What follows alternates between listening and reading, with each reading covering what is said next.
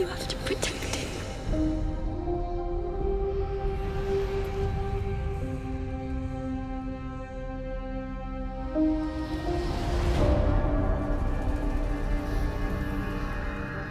All this horror that's come to my family.